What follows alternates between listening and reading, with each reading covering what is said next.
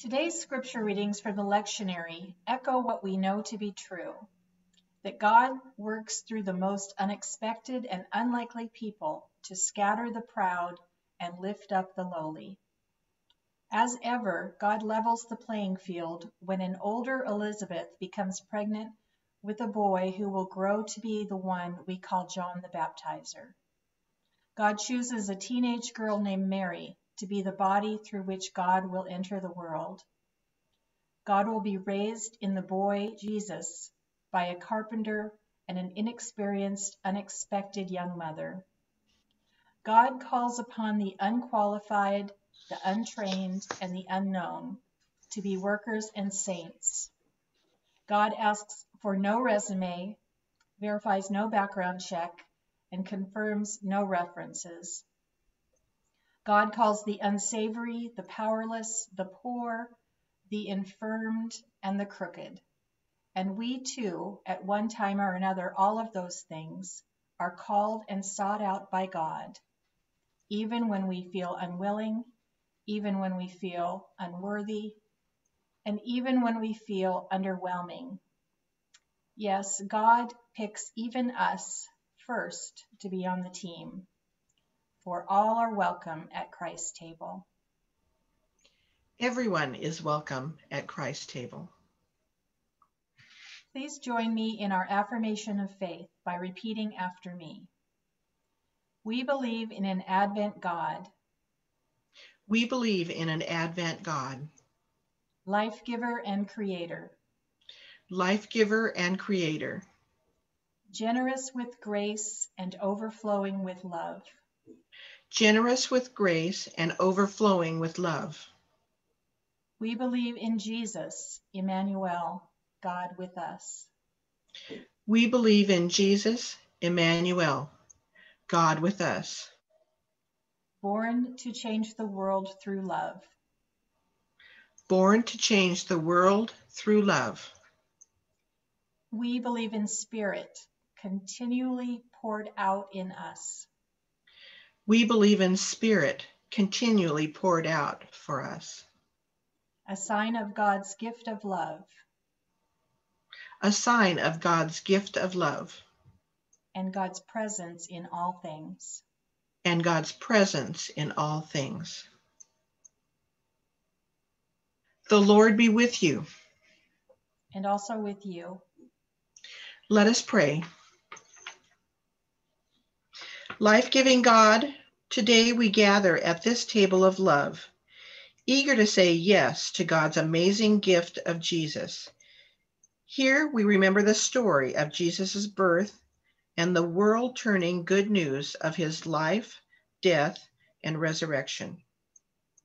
On this last Sunday of Advent, we bring our weary selves to share in this feast prepared for all who accept the invitation. Though broken, the bread can make us strong enough to say no to the builders of unjust systems, to the bullies who stalk our world, to the braggarts who deceive with false words. Through only a cup, God's grace, made known to us in Jesus, fills us with the courage to say yes, to follow our Lord's lead, to the ill in need of medicine, to the lonely longing for acceptance, to the hungry eager to receive food for body as well as soul.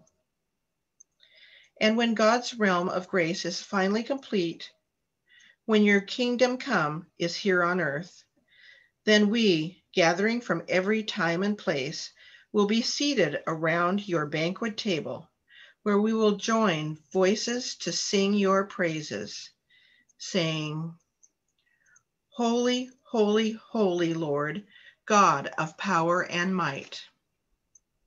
Holy, holy, holy Lord, God of power and might. Heaven and earth are full of your glory. Heaven and earth are full of your glory. O come, O come, Emmanuel. O come, O come, Emmanuel.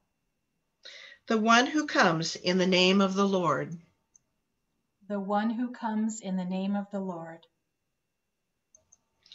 Hosanna in the highest. Hosanna in the highest. Amen. Amen.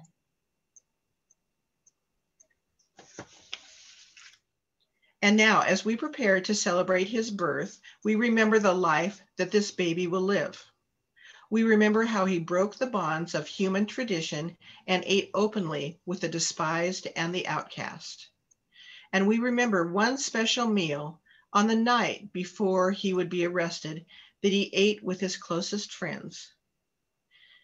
Jesus gathered them together in an upper room to share God's story of hope, peace, joy, and love.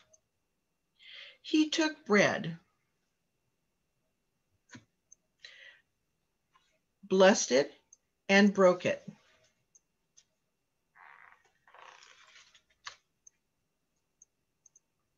Then passed it to them, saying, This is my body, broken for you. Take, eat, do this in remembrance of me. After that, he took the cup.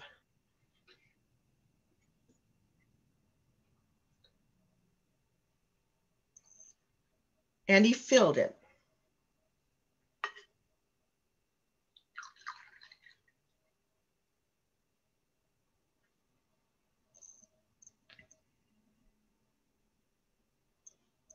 He blessed it and passed it to them, saying, This is the cup of the new covenant Whenever you drink it, remember me. For as often as you eat this bread and drink this cup, you proclaim our Lord's life, death, and resurrection until Christ comes again. Let's pray. Creator of life and love, at this table we are filled and renewed. May this bread be a symbol for us of your goodness, and may we mirror that in our own acts and words. May this cup be a sign for us of your overflowing mercy, and may we in turn pour out our own grace upon others. We give thanks for this opportunity to meet in your name and in the name of the one whose table is never too full. Amen. Amen.